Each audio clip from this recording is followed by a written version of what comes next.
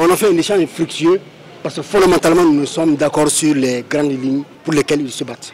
Le Parlement a soumis à l'opinion publique euh, depuis novembre que le projet de constitution tel que c'est présenté, tant qu'il n'y a pas de consensus là-dessus, nous appelons les autorités à y renoncer.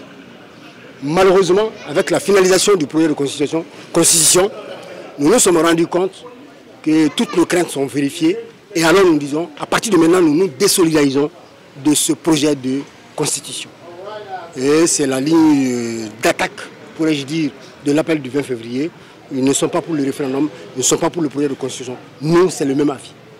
Le message, c'est un appel à tous les Maliens de l'intérieur comme c'est établi à l'extérieur, que nous voulons et nous restons dans la légalité, défendre des valeurs démocratiques et républicaines pacifiquement.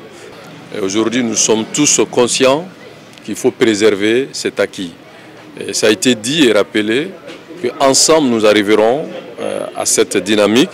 Donc, nous félicitons les responsables du cadre et tous les dirigeants qui se sont mis dans cet exercice avec nous. L'appel que nous lançons, c'est toujours vraiment que nous puissions converger ensemble pour gagner ce combat démocratique et républicain.